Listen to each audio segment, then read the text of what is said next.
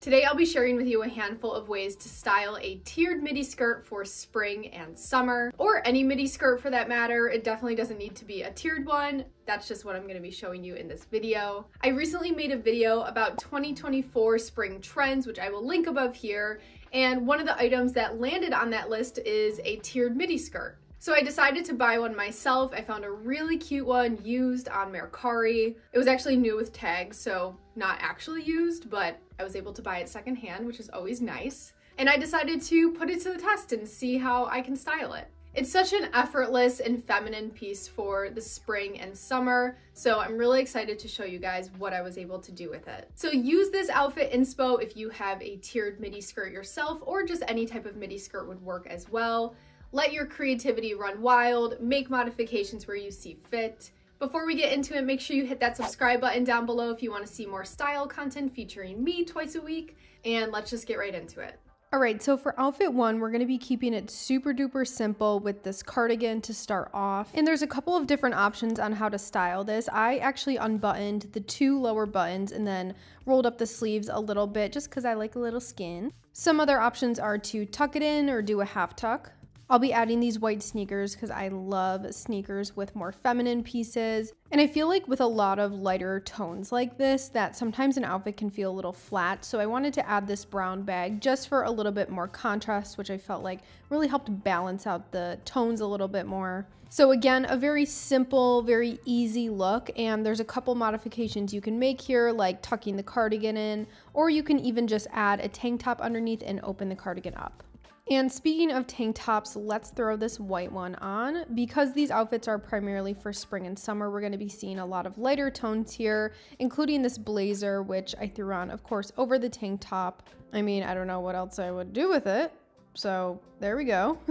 And then just to have a little bit more skin showing, I roll up the sleeves of the blazer, which I've just been loving doing lately with pretty much all of my overlayers. And then I'll be adding a pair of terracotta mules. These are like one of the only pieces in my wardrobe that I have that has actual color in them. So had to throw it in here somewhere adding my little pearl bag, and this is the completed look. This is another really good example of that juxtaposition between a masculine type of style and then a feminine type of style. So if you're ever feeling a little bit bored with the pieces in your wardrobe, or maybe you just want to experiment a little bit, I highly recommend looking into pairing a more structured, again, more masculine type of style with something that's a little bit more flowy and feminine. They just work so well together, and I love it. Next, I'll be adding this white bodysuit. I promise we'll be adding some color and some other tones in a little bit, so just hang tight. And then I'll be adding this Juicy Couture Parade collab silk scarf. Did that make any sense? Probably not. but I'll be adding this around my waist. This has been one of my favorite things to do with skirts and dresses lately. I just love the angled effect that it gives. I think it's super unique. And then I'll be adding a pair of beige sandals, or they're like heeled sandals, I guess you could say. And again, a very lighter neutral outfit, but with the scarf wrapped around the waist, it adds some angles, it adds some color. I predict that silk scarves are gonna be one of the biggest accessories of this summer, especially styling it like this. So if you don't have one, definitely get one. All right, so next we're gonna be adding some darker tones. I have this graphic tee as well as this bralette, which I'll be using to tuck my t-shirt in. And I'm gonna be tucking it at an angle, which again, I'm really loving this like diagonal type of of style lately. You saw it earlier with the scarf and with this as well. I'm going to be adding some platform sandals, which I love to wear because they give me a little bit of height. And I felt like something was missing, so I was like, you know what? Let me just add this gold belt.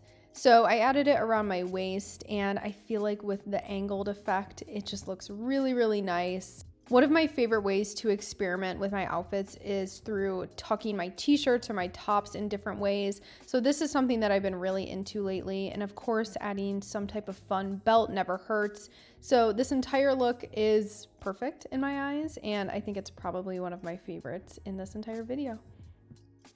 For this next look, I'll be adding a sleeveless turtleneck underneath a sweatshirt. This is a very casual, very easy look. I'll be adding some chunky sneakers as well. So to me, this is like the perfect outfit for running to the grocery store or just doing something very simple, very easy outside the house. Of course, I have my Trader Joe's bag here, which again, nice for a grocery store run. Can't complain. Okay, a little bit off topic, but are you guys obsessed with Trader Joe's as much as I am? Because if I could live there, like if I could set up shop and never move, I would. Just saying. So if you want to pair your midi skirt or whatever skirt with something super comfy, this is the combo for you. Next up, I'll be pairing this black tank top with this gray alpaca half zip. This has been my favorite item in my wardrobe lately. I'm actually wearing it as we speak, as I record this. And then I'll be styling it one of my all-time favorite ways to style an overlayer during the spring and summertime, and that's just right over the shoulders. It's so cute. Adding a pair of black sandals just to help balance out the other black pieces. Got my black bag here as well. So a lot of different tones going on here, but I think they work really, really well together. This is something that I would probably wear to dinner or out at night because the overlayer is perfect for any of those times where it might get a little bit chilly. And if you're always freezing like me, then it is perfect. And I will link this half zip below if you guys are interested in it. I highly recommend. Next up, I'm going to be adding one of my favorite items right now, which is my Harley Davidson vest, as well as adding this little gold chain again. I just think it's so cute. I love the contrast and I think it makes for a really, really nice accessory. And then we're just gonna be switching it up a little bit with some Doc Martens. Again, this is another really good example of that juxtaposition between something that's a little bit more feminine and then something that's a little bit more edgy or masculine. I feel like an outfit like this is really able to prove the versatility of a tiered midi skirt like this or any type of flowier, lighter, more feminine type of piece. Like there's so much that you can do with it. You can dress it up, you can dress it down, you can make it more masculine or not. It's so versatile and that's why I love it. Lastly here, we're gonna be taking one of my favorite layering pieces, my cropped button up, as well as this brown vest. Gonna be layering the vest on top of the button up, of course. When in doubt, layer it out. That's what I always say. I have actually never said that. That's the first time I'm saying it, but it's true. Layer it out. And then I'll be adding my pair of brown tall boots, which I know that you can't really see them underneath the skirt or if you were wearing like a longer dress or something, but I see people pair longer boots with skirts and dresses and things like that all the time and I just think it looks so good.